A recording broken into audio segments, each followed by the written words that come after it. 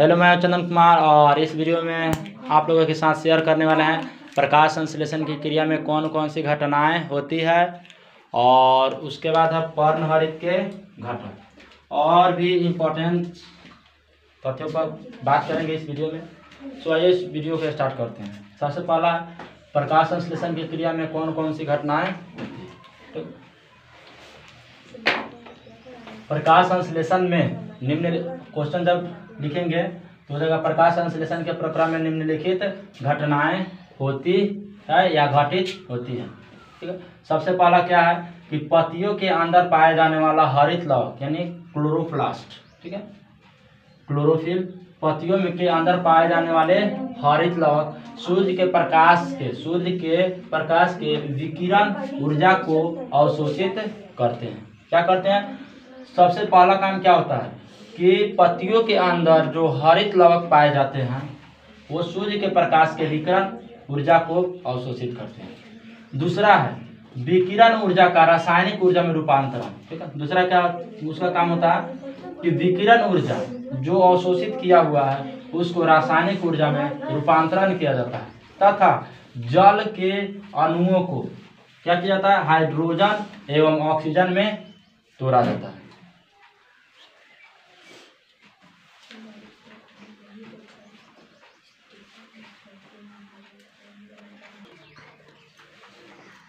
दूसरा काम क्या था कि ये विकिरण ऊर्जा का रासायनिक ऊर्जा में रूपांतरण तथा जल के अणुओं का हाइड्रोजन में तथा ऑक्सीजन में तोड़ना। तो जल का अणुसूत्र जो होता है, वो होता है एच टू ओ यानी हाइड्रोजन के दो अणु और ऑक्सीजन के एक अणु। तो हाइड्रोजन के दो अणु और ऑक्सीजन के एक अणु मिलकर जल का निर्माण करते हैं। तो उसमें जब ये हरित लवक, सूर्य के प्रकाश के या सूर्य के प्रकाश के विकिरण ऊर्जा को अवशोषित करते हैं, और उसके बाद क्या करते हैं? उसके रासायनिक ऊर्जा में रूपांतरण करते हैं तथा जल के अणुओं को हाइड्रोजन एवं ऑक्सीजन में तीसरा काम होता है कार्बन डाइऑक्साइड से ग्लूकोज का बन अब थोड़ा क्या करते हैं? चित्र के अनुसार इसका देखते हैं ठीक है? अब मान लिए कि, ठीक है? यहाँ ये ज़मीन है, ठीक है? यहाँ पर एक कोई पौधा ठीक है? और मान लीजिए कि ये पौधा है, ठीक है? ये पौधा हो ठीक? इसके नीचे जड़ है। ये हमारा वायुमंडल है। उसके बाद सूर्य।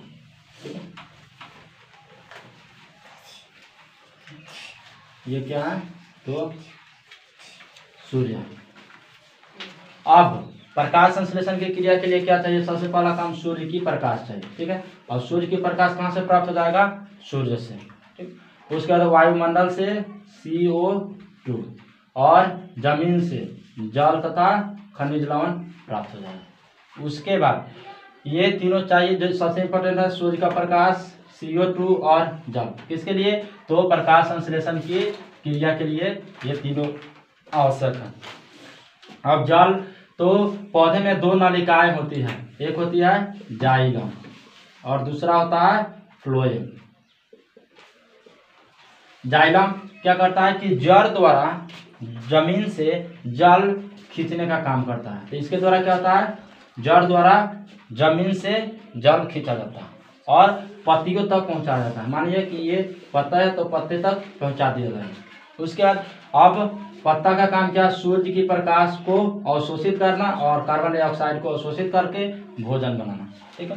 और भोजन बनाएँगे तो भोजन बनने के बाद फ्लोएम द्वारा पौधे के सभी भागों में भेजा जाता है, ठीक है? प्रकाश संश्लेषण और उसके बाद तब ऑक्सीजन गैस, यानी कि ओ टू क्या होती है? मुक्त होती है। तो प्रकाश संश्लेषण की क्रिया में अगर पूछा जाएगा कि कौन सी गैस मुक्त होती है तो ओ टू पौधे में जल का संवहन कौन सी जाइलम उत्तक द्वारा होती है। सॉरी कौन से उत्तक द्वारा होती है? तो जाइलम उत्तक द्वारा होती है। फिर उसके बाद पूछा जाएगा कि पौधे में भोजन का संवहन किस उत्तक द्वारा होता है? तो फ्लोएम उत्तक द्वारा होता है। सूर्य का प्रकाश तो सूर्य से प्राप्त हो जाएगा, कार्बन डाइऑक्साइड जो वायुमंडल से प्राप्त हो जाएगा। अब आते हैं पौधे के जड़। ठीक है? तो पौधे के जड़ दो प्रकार के होते हैं। पौधे के जड़ दो प्रकार के होते हैं। ठीक है? एक होते हैं मुसला जड़ और एक होते हैं झकरा जड़। ठीक है?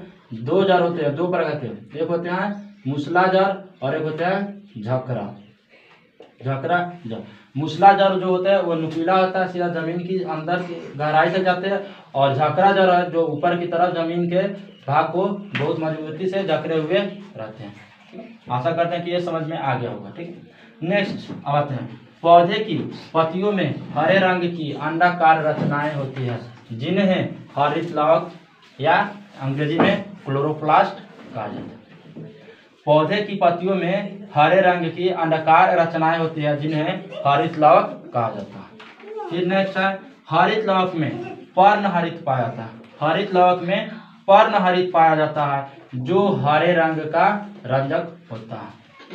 और एक चीज़, अगर ये हरित लवक जो है, क्या करते हैं? हरे रंग के प्रकाश को परावर्तित करते हैं, जिसके कारण पेड़ पौधे हरे दिखाई देते हैं। नेक्स्ट पर्ण हरित पोरफायरिन समूह का एक कार्बनिक पदार्थ है। पर्ण हरित क्या है? ये प्रोफायरिन समूह का है। किसके समूह का प्रोफायरिन समूह का और यह एक कार्बनिक पदार्थ है। पदार्थ कार्बनिक और एक अकार्बनिक होता है। तो वैसे पदार्थ जिसमें कार्बन की मात्रा पाया जाता है, कार्बनिक पदार्थ कहलाता है। और वैसे पदार्थ जिसमें कार्बन की मात्रा नहीं पाई जाती है, अकार्बनिक पदार्थ कहलाती है। ये समझ में आ गया? तो पर्णहरित प्रोफाइलिन समूह का एक कार्बनिक पदार्थ है, जिसमें क्या पाया जाता है? तो मैग्नीशियम पाया जाता है, यानी और इस मैग्नीशियम का सिंबल होता है एम जी नेक्स्ट है, पतियों में उपस्थित या विद्यमान। दोनों में से कोई वर्ड लिख सकते हैं। तो पतियों में उपस्थित वर्णक या रंजक, नीले एवं लाल क्षेत्र में प्रकाश को अवशोषित करते हैं। पत्तियों में उपस्थित जो वर्णक या रंजक, वर्णक बोलेंगे या रंजक बोलेंगे, दोनों सेम है। तो वर्णक लिखे या रंजक। तो वर्णक या रंजक क्या करते हैं? नीले एवं लाल क्षेत्र में प्रकाश को अवशोषित करते हैं। ठीक? ये हरे रंग के प्रकाश को परावर्तित करते हैं। क्या करते हैं? ये हरे रंग के प्रकाश को परावर्तित करते हैं। ठीक है? दो शब्द आएगा। एक अवशोषित और एक होगा परावर्तित। ठीक? अवशोषित यानी खींचना और परावर्तित यानी रिटर्न कर देना। तो हरे रंग के प्रकाश को क्या करते हैं? परावर्तित करते हैं। इसीलिए पौधे हरे रंग के दिखाई देते हैं। नेक्स्ट है, पर्णहरित के घटक। पर्णहरित के कौन कौन से घटक है? तो पर्णहरित के मुख्यतः चार घटक होते हैं। कितने घटक होते हैं? तो चार। कौन कौन पर्णहरित ए, पर्णहरित बी जैंथोफिल और कैरोटीन पर्णहर क्वेश्चन पूछा जाएगा कि पर्णहरित के कितने घटक है? तो पर्णहरित के मुख्यतः चार घटक है। पर्णहरित ए पर्णहरित बी, जैंथोफिल और कैरोटीन। अब आते हैं पर्णहरित किस रंग का होता है? इसमें कौन कौन से रंग पाया जाता है? तो पर्णहरित ए जो है, वो नीला एवं हरा होता है। ठीक है, यानी कि ये रंग पाए जाते हैं। फिर पर्णहरित बी में पीला एवं हरा। जैंथोफिल पीला और कैरोटीन जो है, वो नारंगी होती है। नेक्स्ट आते हैं। हरित लवक में पाए जाने वाले सभी रंजक कोमोवेश विकिरण ऊर्जा को अवशोषित करते हैं। हरित लवक में पाए जाने वाले सभी रंजक किसका अवशोषण करते हैं? तो कॉमोवेश विकिरण ऊर्जा को अवशोषित करते हैं। कॉमोवेश ऊर्जा को अवशोषित करते हैं। शोषित जो होगा ठीक है? अवशोषित ऊर्जा। परंतु वे सोखी गई ऊर्जा को अंत में पर्णहरित ए को दे देते हैं। अब क्या कहते हैं? हरित लवक में पाए जाने वाले सभी रंजक जो है, वो कोमोवेश विकिरण को, ऊर्जा को शोषित करते हैं। परंतु वे क्या कहते हैं? सूखी गई ऊर्जा को अंत में पर्णहरित ए, यानी इसको दे देते हैं। ठीक है? किसको देता है? तो पर्णहरित ए को दे देते हैं। और उस ऊर्जा का रासायनिक ऊर्जा में बदल दिया जाता है। उस ऊर्जा को क्या किया जाता है? रासायनिक ऊर्जा में बदल दिया जाता है। सो so, इस वीडियो का ये टॉपिक था इतना ही। फिर मिलते हैं नेक्स्ट अगले वीडियो में। अगले टॉपिक के साथ तब तक वीडियो में बने रहा। वीडियो को लाइक और शेयर ज़रूर कर दें।